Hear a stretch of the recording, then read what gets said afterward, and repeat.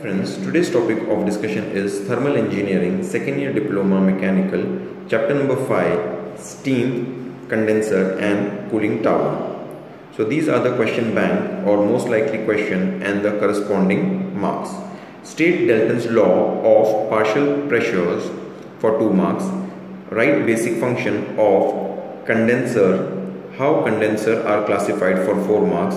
Give classification of steam condenser Explain working of surface condenser for 8 marks.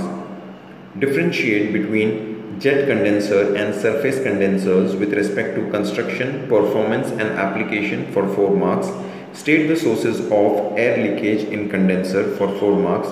What are the sources of air leakage in condenser? How these can be detected for 4 marks?